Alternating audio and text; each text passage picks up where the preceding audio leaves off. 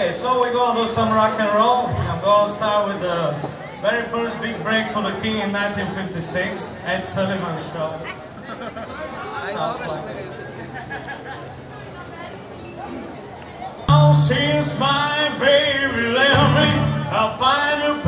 to dwell. And down a tree and the street too. I pray to tell the Lord, you be so lonely, baby.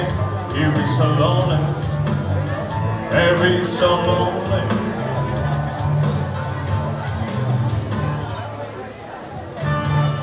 Know the words? I forgot it, man.